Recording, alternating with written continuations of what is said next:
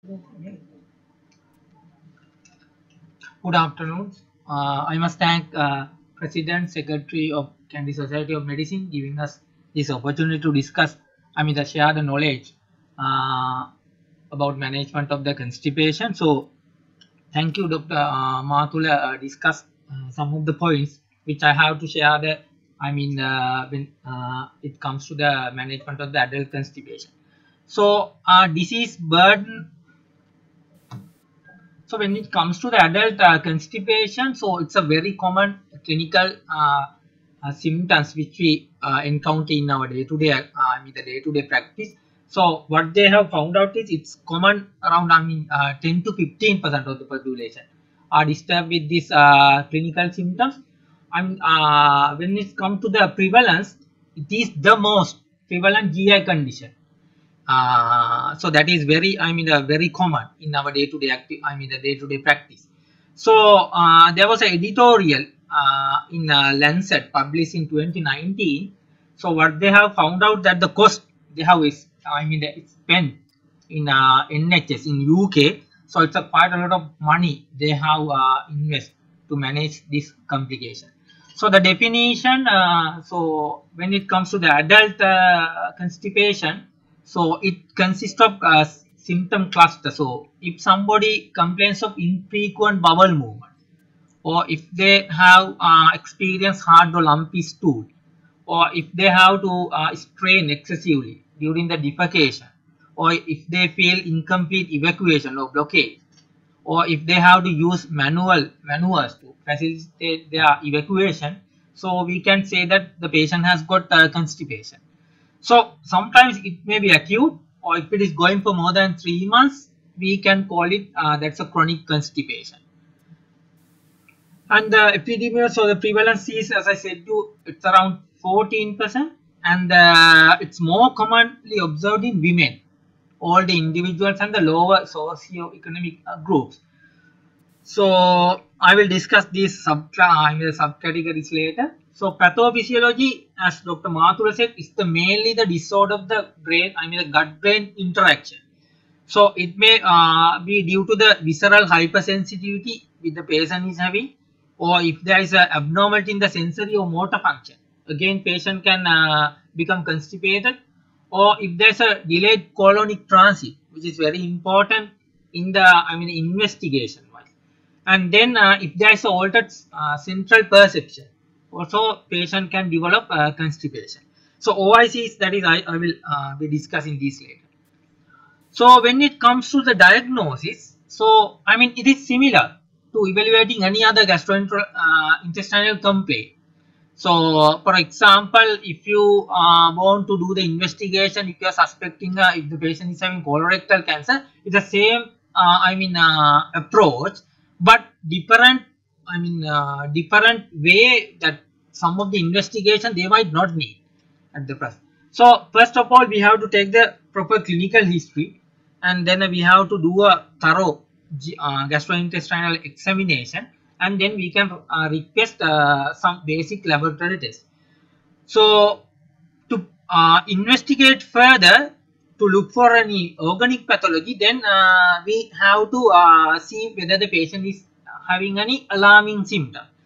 So this is the same that the Bristol uh, stool chart, uh, which was discussed by uh, Dr. Mathula. So it is again it's a very validated tool that can be useful in our clinical practice but it's again in the primary or the I mean uh, basically the primary setting. So type 1 and type 2 stools denote hard or lumpy stool and then uh, type 6 and 7 mainly the loose or the watery stool. So the important message here is that you have to remember stool consistency is more reliable indicator rather than the colonic I mean the, when it comes to the colonic transit uh, compared to the stool frequency. So that's why they have developed this chart depending on the stool consistency. So uh, sometimes your patient might complain of abdominal pain, bloating and vomiting which may suggest there is nothing I mean much sinister but again we have to get that detail as well. So what are the alarming symptoms we are worried? So these are the things. If the patient is having unintentional weight loss rectal bleeding or if there's any family history of colorectal cancer or inflammatory bowel disease where we need to take a proper history and we might have to go to the depth to rule out these possibilities. So that's why they have told that if somebody come, I mean having uh, alarming symptoms, we should investigate thoroughly. So these are the uh, common drugs which can cause, I mean maybe the culprit to have the constipation. So I have given a, a long list, but to just to uh, highlight the tricyclic, these drugs are very common in our day-to-day -day practice. So those are those can give rise the clinical symptoms of constipation. So other than that, uh, the NSAID, which is again a very common drugs to use, and then the anticonvulsant, sedating antihistamine like hydroxyzine, and the antimuscarinic. Those are the common culprit drugs to cause constipation. So what are the medical conditions? depression, diabetes, hypercalcemia, hypokalemia, hypothyroidism, those things, uh, uh, medical condition can give rise constipation. When it comes to the physical examination, we have to do a thorough uh, physical examination to exclude whether there is any uh, presence of fissures, any mass lesions. DR is very important, that is digital rectal examination. What they have found out is the sensitivity and uh, specificity of dr male in dyssynergic defecation is around 75 so which is, which is very uh, I mean important so DRE we must do if somebody complains of constipation so what are the basic blood tests you have to rule out anemia inflammation we can do fecal calprotectin test in our setup and then the thyroid function test electrolyte like calcium and the celiac disease. So, in 1 in 10 uh, patients with celiac can present with constipation. That is not, I mean, very uh, common presentation of celiac. But again, you have to keep in mind that it is also a cause to cause the, I mean, give rise to constipation. Your, if your patient is postmenopausal women, complaints of uh, recent onset of constipation, we have to ask for a transabdominal and transvaginal ultrasound because it may be an early uh, sinister symptom in ovarian cancer which is again an non-invasive test you can order. What about the colonoscopy and cross-sectional imaging? Yes, to exclude conditions such as uh, colon cancer, IBD, we can ask for uh, colonoscopy and the imaging. But if somebody doesn't have any alarming features which I have discussed earlier like weight loss, family history, we usually don't go to a colonoscopy straight away. Instead, they have found out by doing the meta-analysis there is no association between chronic constipation and the development of colorectal cancer. So, there are evidence not to go to a colonoscopy straight away. So, if somebody has alarming features, yes, we should ask for a colonoscopy. So there is a test called balloon expulsion test where especially uh, if you are suspecting somebody having an evacuatory disorder like dyssynergic defecation, we can ask that uh, there's a balloon we inserted through the rectum which will uh, fill with the either water or uh, air and will ask patient to evacuate. So the normal time duration is like 1 to 2 minutes. If they can't uh, do that test, we have to suspect that this dyssynergic defecation. So the manometry which is again very important test which is widely not available unfortunately. We can ask for a patient if you suspect functional defecation disorder. So if you do digital ex examination if you found any abnormality or if your patient is refractory to usual medication then we can ask for these I mean these are not first line these are second line uh, test we can do. So it's basic based on anal and rectal resting and squeeze pressure. So failure to relaxation of the anal sphincter or if there is a paradoxical contraction, you can suspect whether they are, our patient is having the dyssynergic defecation. So basically uh, it is uh, only the few centers in Sri Lanka doing that. So if you get a patient, you can refer to a gastroenterology or the surgeon uh, where we can direct them for that. Uh, so what is called defecography? So it's a radiological procedure where we can dynamically get the images of the rectum and the pelvic floor uh, during the attempted defecation where can uh, where we can rule out some of the structural abnormalities. The rectocele, rectal prolapse, intussusception such as those things. So that's basically fluoroscopy guided thing but nowadays we have got MRI because uh, it has got some advantages being lack of radiation and the better imaging quality we can ask for MRI defecography. It's mainly to exclude the structural abnormality. What is colonic transit studies? So it's a basically uh, if a patient uh, who have got uh, failed medical therapy, we can guide them for this study. Again, uh, done here. Uh, if they have an imaging practice, they should be able to do these tests. So it's a simple, cheap and a reliable method of measuring colonic transit because it's important when it comes to the mainly the refractory cases of constipation. So there are three ways which we can do the test. Where the patient has to ingest uh, radiopaque markers and they can calculate the remaining markers uh, during the time of the day and then they can measure whether the colonic transit uh, or not. And then the, there is a thing called colonic scintigraphy where again patient has to consume a radio label meal and a time measurement where we can uh, check the various uh, we can calculate transit across the various GI segments. And there is a, uh, another device called wireless motility capsule where depending on the pH uh, changes uh, we can detect the transit time. So, uh, what are the subtypes of uh, constipation in adult uh, management? So, again, the Rome 4 criteria is applicable to uh, adults as well. So, if somebody comes with the chronic constipation for the last, I mean, uh, for the previous three months or within with onset at least six months prior to the uh, problem, and if you rule out any organic causes, then we can uh, uh, find out whether they are having any functional, I mean, uh, functional constipation cause. So there are four things which is functional constipation, irritable bowel syndrome constipation predominant one, and then the opioid induced constipation, and then the functional defecation disorder. I don't think these are very important in the primary care, but keep in mind the all the uh, constipation cases are not the same because management is different these four cases. If your patient is having the IBSC, which is uh, inflammatory bowel, uh, irritable bowel syndrome, constipation predominant one, they usually complains of changing stool frequency towards to the uh, infrequent bowel movement. And their uh, stool is more towards harder stool and then uh, the symptoms are mostly related to defecation and uh, if they open the bowel their symptoms might disappear.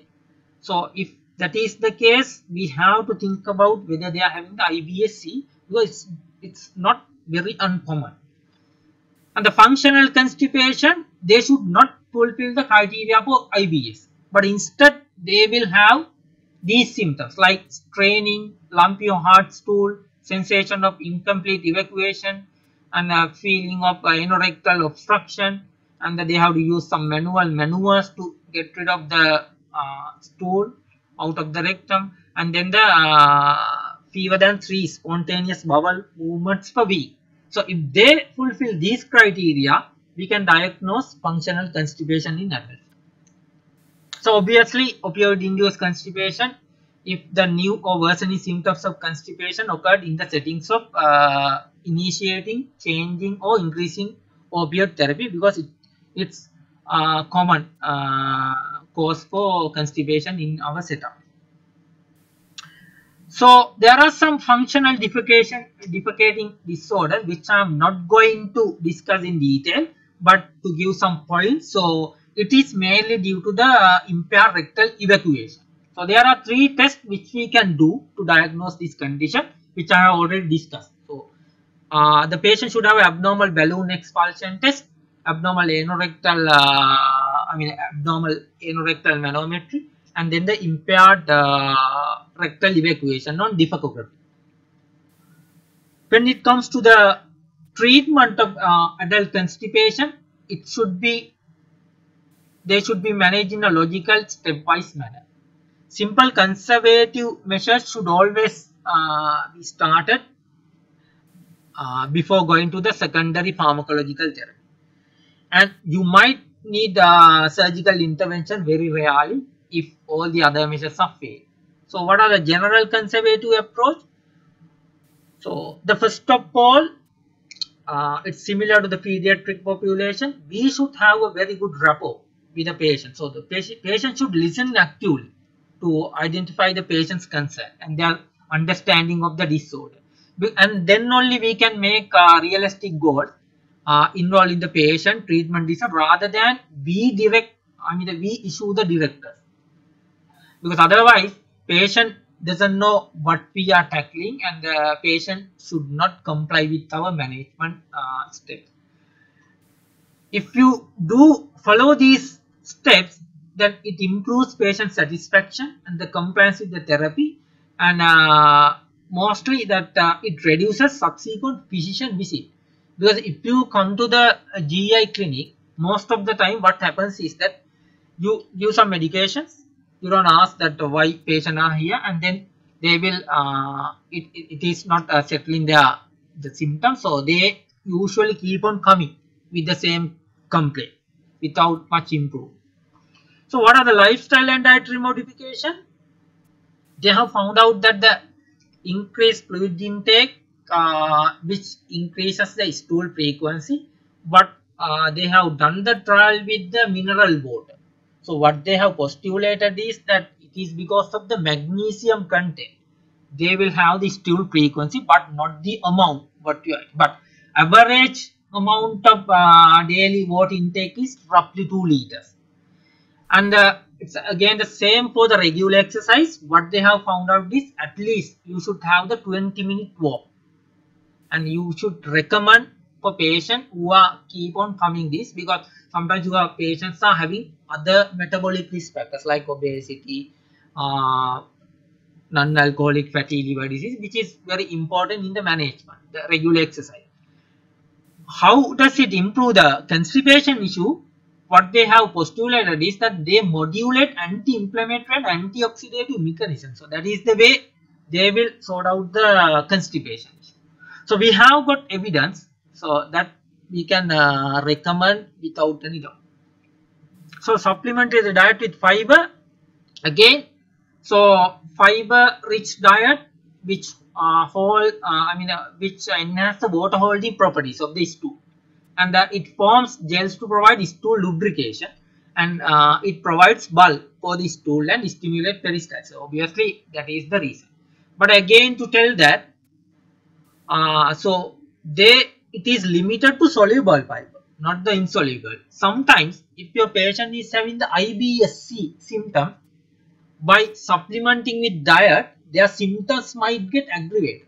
So you have to be very careful if you advise because moderate amount is the recommendation, not the high five always we are talking. So what are the pharmacological therapies? So I will uh, discuss the detail here. So few points here. Uh, meta-analysis, they have found out osmotic laxative is superior to placebo for functional constipation. And uh, polyethylene glycol was superior to lactulose. So those are bit, I mean, uh, highlighting point here. So those are the research evidence we're telling. So these are few of the classes which we are commonly encounter in our clinical practice so the bulk forming laxative, laxative, they will increase fecal mass. So it has got a stimulating peristalsis. So then we can uh, get rid of the some of the symptoms. So what are the common uh, drug uh, we can use? the the husk and the sterculia.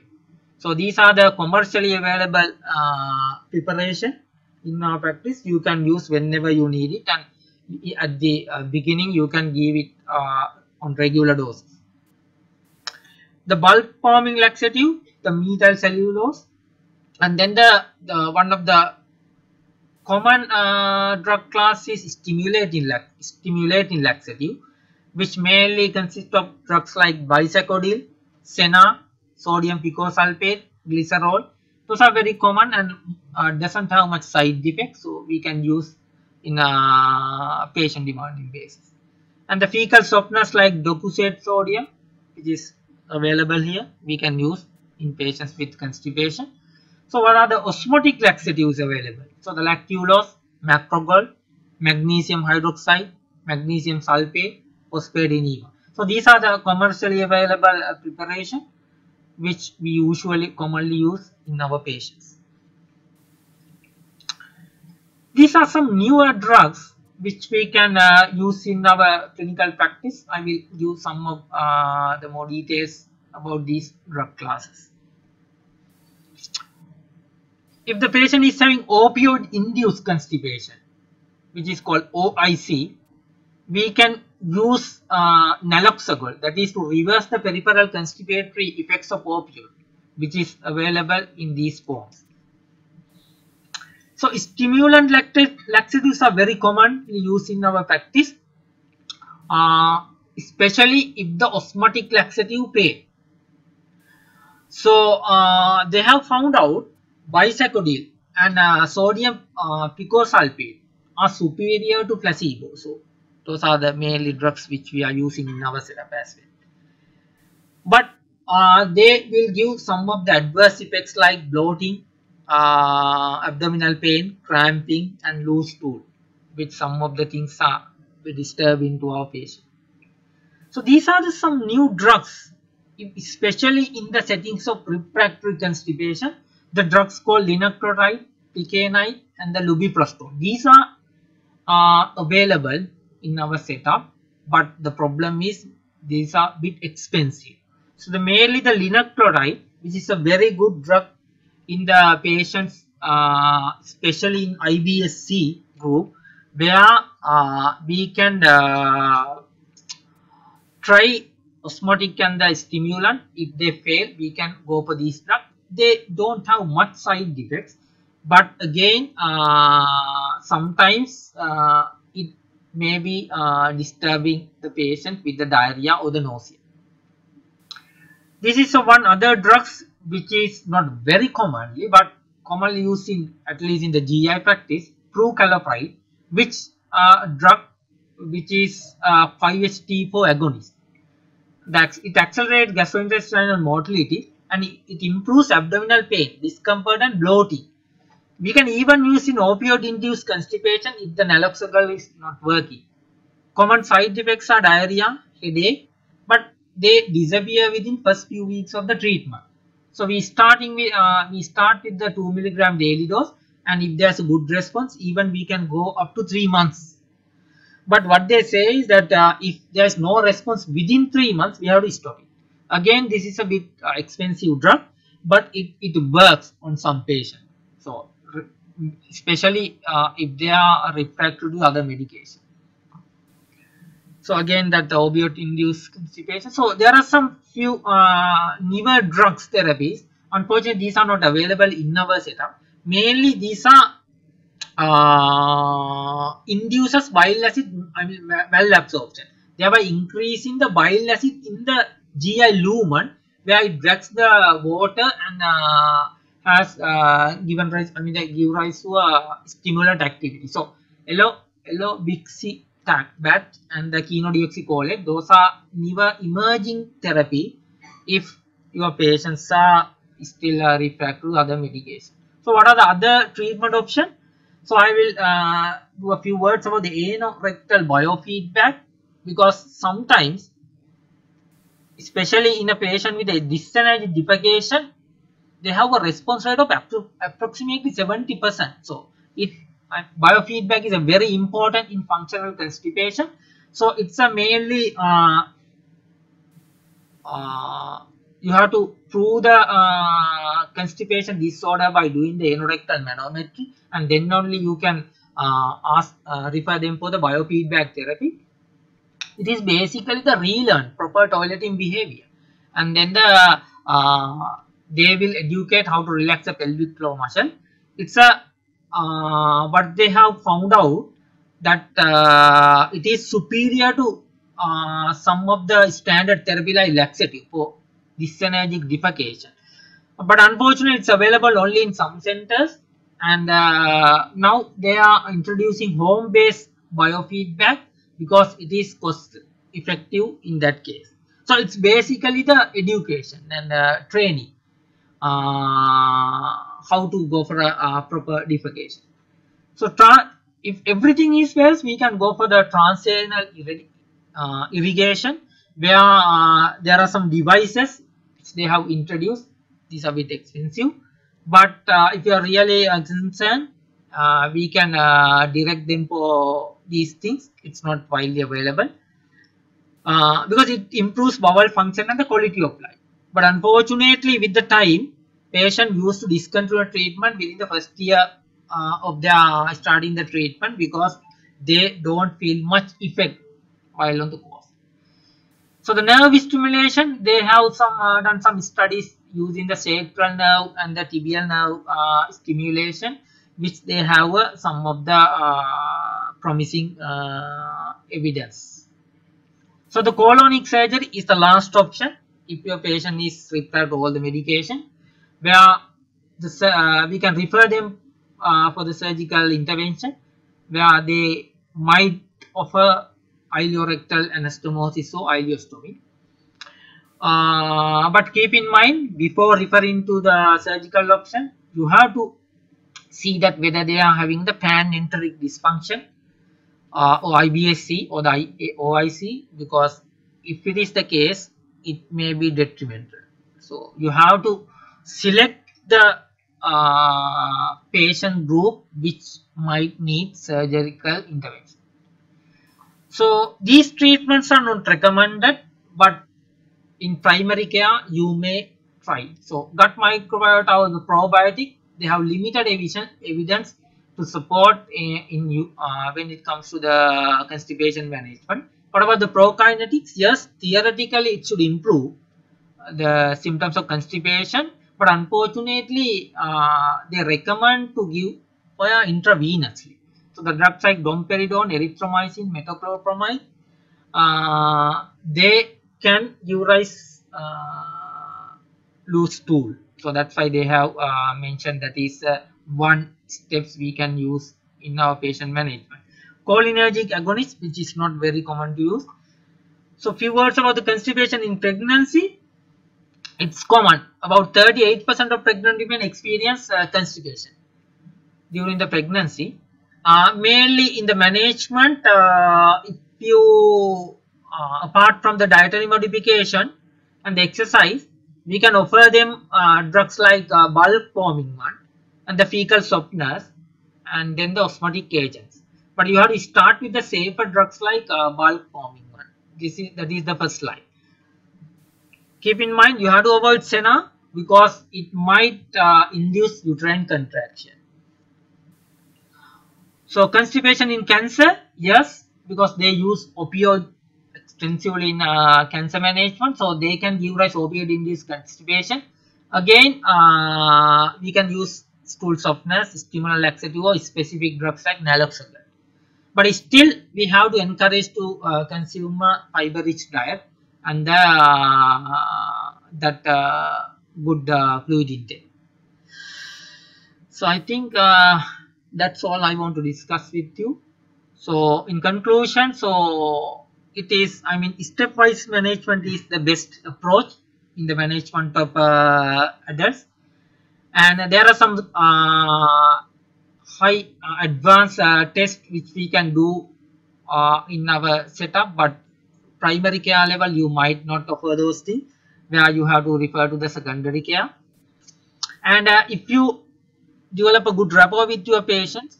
We might not need a lot of pharmacological agents, but uh, still we can manage and uh, we can uh, uh we can go to uh, this is where they don't need any pharmacological management.